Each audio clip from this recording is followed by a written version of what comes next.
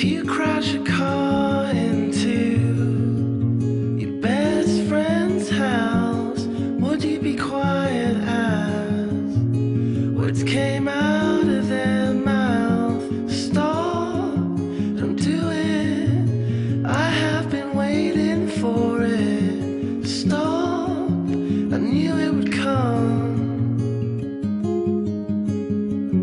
If you find a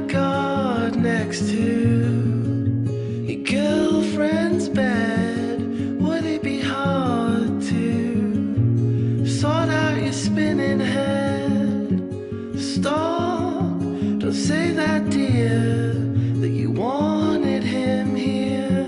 Stop, don't give him the clear.